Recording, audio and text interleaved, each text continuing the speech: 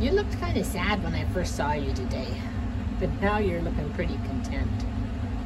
I'm still trying to get you to come come down. Come down. I'll me pet you on the bottom of your kennel.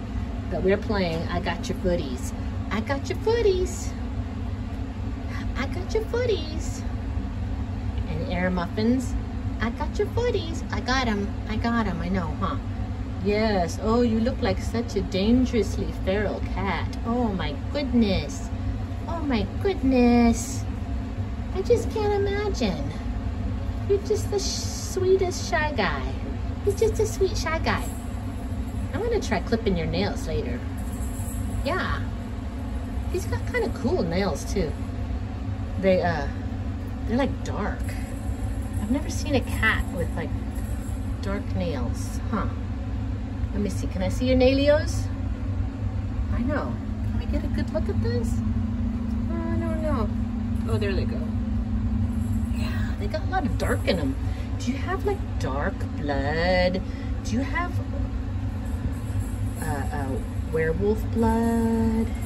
Something like that? Something goofy? Yeah? Mr. Air Muffins? I know you want some more of the churu. I'm trying to get you to come down and eat it, huh? Just won't. She said, I'm just gonna roll here. I'm gonna stretch out my legs. Can you show them how your legs get all stretched out? Stretch out the legs. Get a good leg stretching. Can you do that? Come on. Get a good leg stretching. Whoa, come on, do it. Almost there.